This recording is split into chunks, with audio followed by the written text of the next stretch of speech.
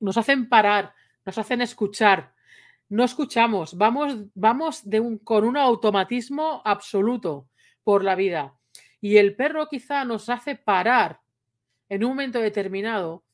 Ojo, siempre y cuando queramos eh, mejorar la convivencia en el día a día, ¿vale? Si, nos importa mínimamente eh, la relación que tengamos con nuestro perro. El perro final, eh, y lo hemos dicho muchas veces, es un espejo emocional nuestro.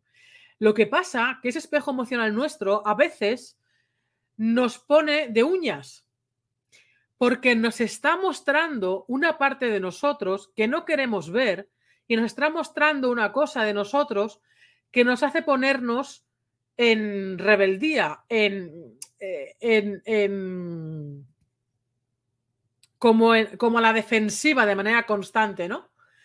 Entonces echamos la culpa al perro de diferentes comportamientos cuando el perro nos está reflejando en nosotros algo que está en nosotros.